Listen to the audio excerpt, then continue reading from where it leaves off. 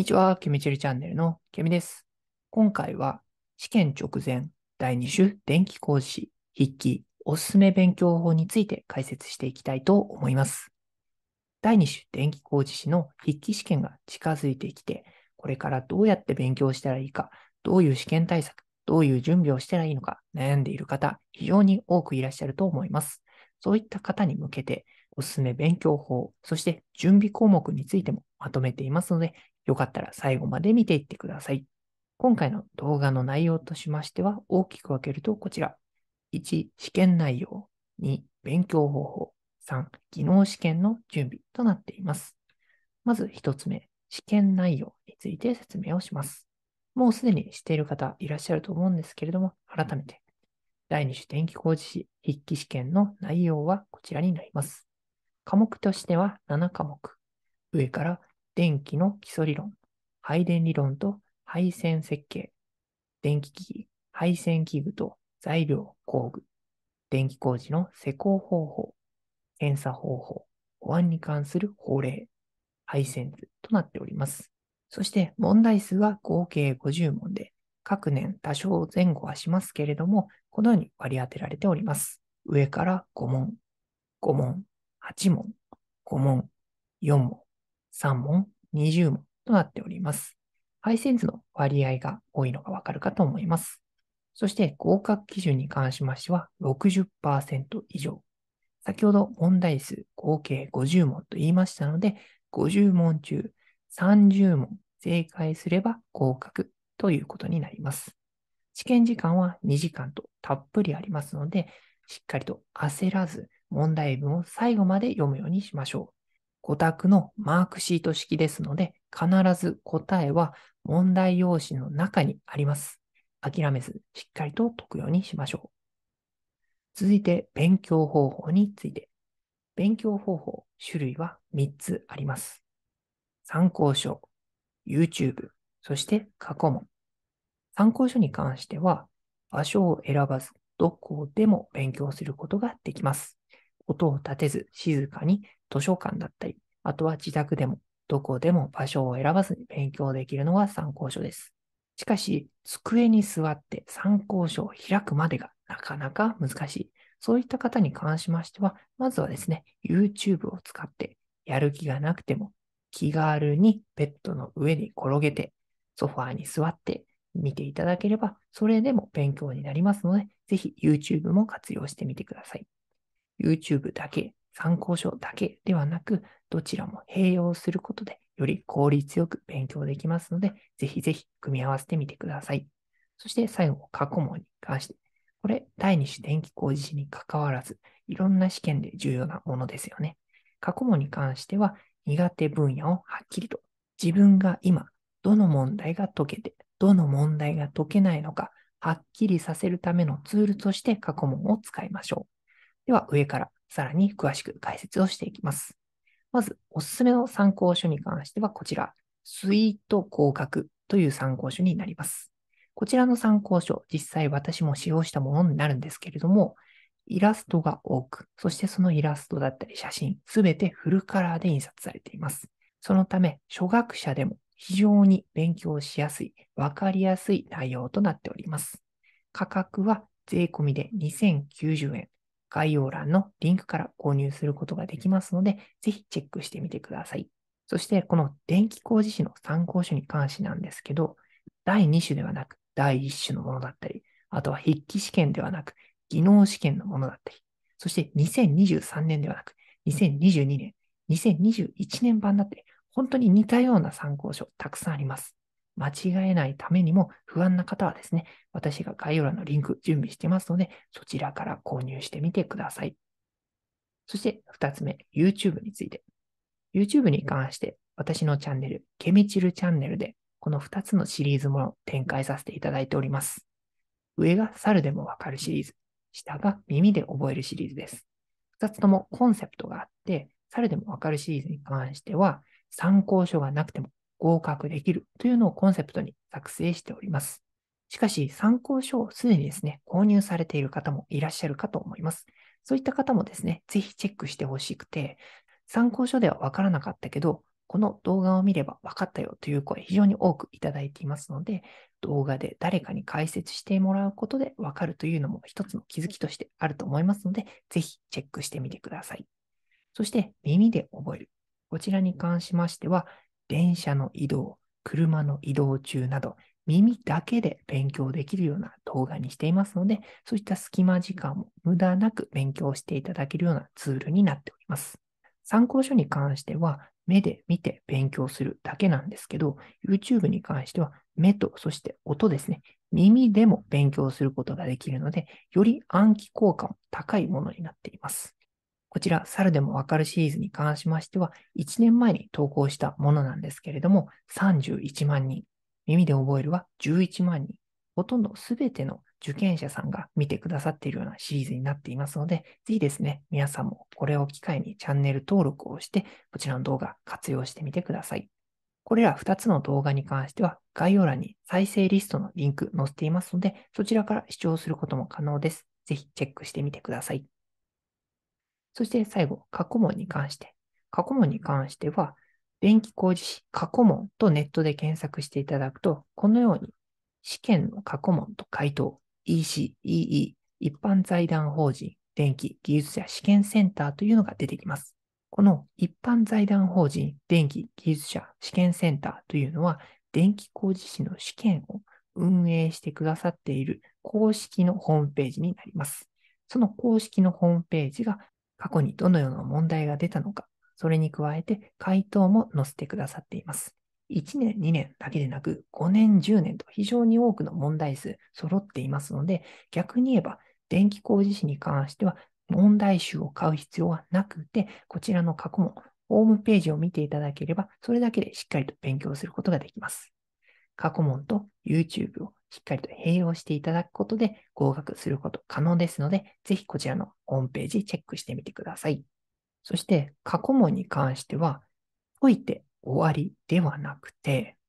どの問題が解けないのか、どの分野が苦手なのか、しっかりと把握することが大切です。そして、解けない問題を把握した後は、その解けない問題を解けるようにすることが重要です。どうすればいいかというと、参考書を見返したり、YouTube を見返す。そのような方法、様々ありますが、まずはですね、解けない問題を理解し、それを解けるようにする。その後にさらに過去問を解く。この繰り返しですね。過去問、YouTube、過去問、YouTube、過去問、YouTube の繰り返しで必ず点数は伸びてきますので、皆さんもぜひ実践してみてください。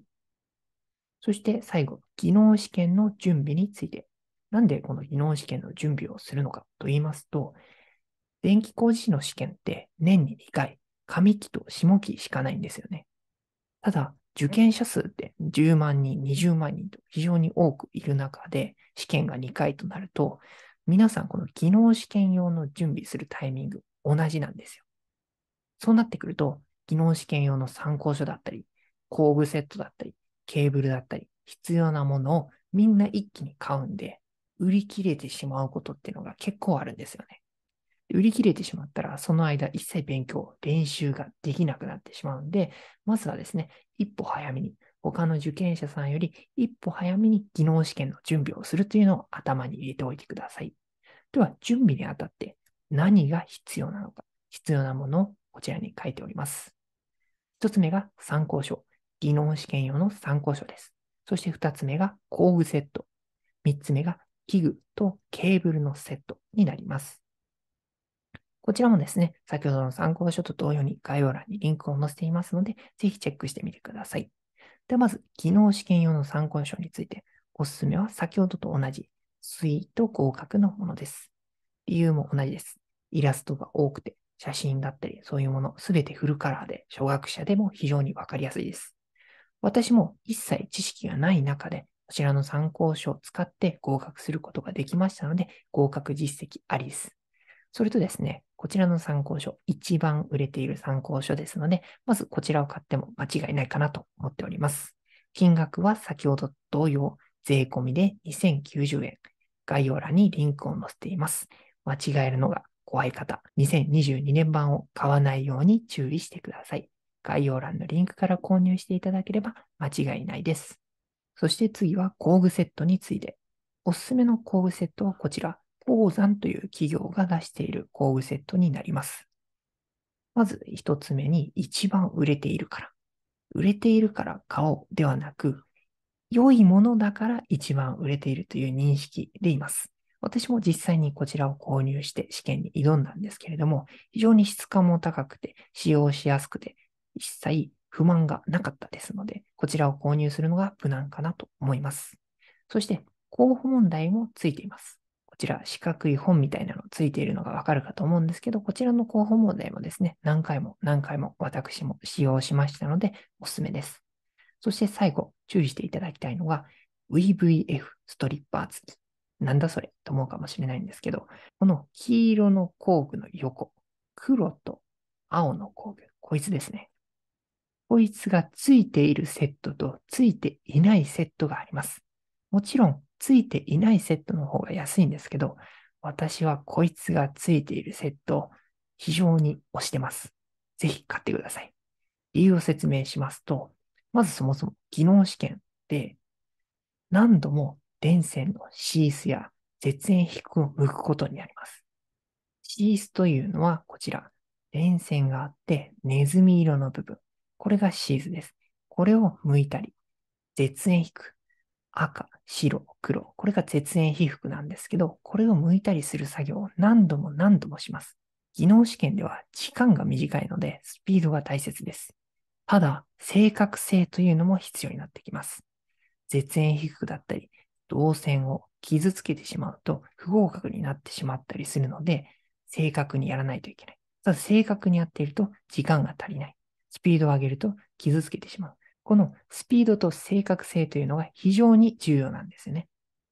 で、もちろん電気工事士の工具セットに電光ナイフというのもついています。こちらです。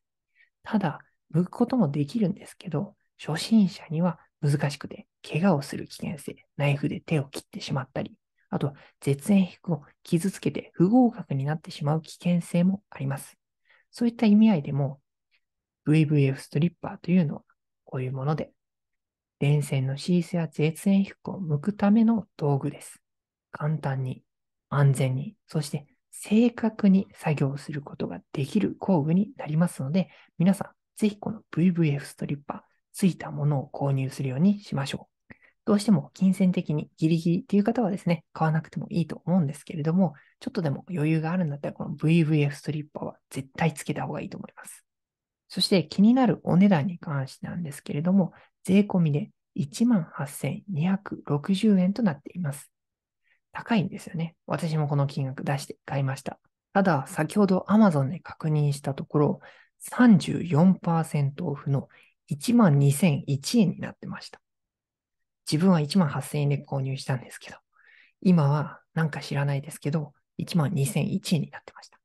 なんで、まあ、工具がなくなる前にだけでなくて、今なんか安くなってるんで、ぜひ購入してください。こちらも概要欄のリンクから購入することできますので、VVF ストリッパー付きのもの、間違えて付いてないものを買わないようにですね、こちら概要欄のリンクからぜひ買ってみてください。そして最後、器具とケーブルセットについて。器具とケーブルセットはこのようなもので、器具とケーブルの試験用のセットになります。電線1回分、2回分といろんな種類あるんですけど、私は1回分で十分足りましたし、なんなら余りました。そのため、これに関しては1回分でいいんじゃないかなと思います。で、どの会社のどこで買えばいいのかに関してですけど、これに関してはどれでもいいです。安かったらそれでいいと思います。この器具とケーブルセットに関しましては、工具セットと違って使い捨てになりますので、正直安いものでどれでもいいと思います。調べてみたところ、モズシリーズと先ほどの工具セットの鉱山という会社2社調べたんですけれども、モズシリーズの方が安くて1万5000円。そして鉱山が1万6718円となっていました。どちらも税込み価格となっています。なので、まずはですね、皆さん、売っているうちは1万5000円のモズシリーズを購入していただいて、もし売り切れていたら、この宝山の1万6718円を購入すれば良いかと思います。注意点としましては、このモズシリーズ、私が見た段階では残り9点となっていましたので、もしですね、この1万5000円のモズシリーズを購入したいよという方はですね、概要欄のリンクからですね、早速すぐに購入するのがおすすめです。こちらも第1種電気工事仕様だったり、あとはケーブルしか売ってないもの、あとは器具しかないもの、様々ありますので、間違えないように注意してください。不安な方は概要欄のリンクから購入してみてください。以上で試験直前第2種電気工事士筆記おすすめ勉強法について終わりたいと思います。後半ちょっと技能試験についての話になってしまったんですけれども、本当に筆記試験が終わった後、筆記試験の合格発表の後はみんなが一気に買いますので、この段階、筆記試験が始まる前の段階からしっかりと購入をして準備しておくのがおすすめです。よかったらチャンネル登録をして他の動画も見てみてください。終わります。最後までご覧いただきありがとうございました。高評価、チャンネル登録もよろしくお願いします。